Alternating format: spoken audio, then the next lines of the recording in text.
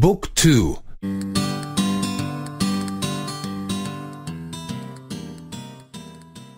پنجاه و پنج پنجاه و پنج کار کار شغل شما چیست؟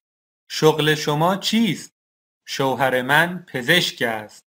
شوهر من پزشک است. من نیمه وقت به عنوان پرستار کار می کنم. من نیمه وقت به عنوان پرستار کار می کنم. به زودی حقوق بازنشستگی ما پرداخت می شود. به زودی حقوق بازنشستگی ما پرداخت می شود. اما مالیات ها زیاد هستند. اما مالیات ها زیاد هستند و بیمه درمانی بالاست و بیمه درمانی بالاست. تو می‌خواهی چه کاره بشوی؟ تو می‌خواهی چه کاره بشوی؟ من می‌خواهم مهندس بشوم. من می‌خواهم مهندس بشوم. من می‌خواهم در دانشگاه تحصیل کنم. من می‌خواهم در دانشگاه تحصیل کنم.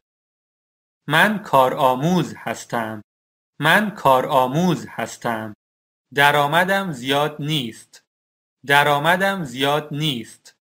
من در خارج از کشور کارآموزی می کنم. من در خارج از کشور کارآموزی می کنم. این رئیس من است. این رئیس من است. من همکارهای مهربانی دارم. من همکارهای مهربانی دارم. ظهرها همیشه به سلف اداره می رویم. ظهرها همیشه به سلف اداره می رویم. من در جستجوی کار هستم. من در جستجوی کار هستم. من یک سال است که بیکار هستم. من یک سال است که بیکار هستم. در این کشور بیکار زیاد است. در این کشور بیکار زیاد است. لطفاً برای مشاهده کتب و دانلود آخرین متون به www.book2.de مراجعه کنید.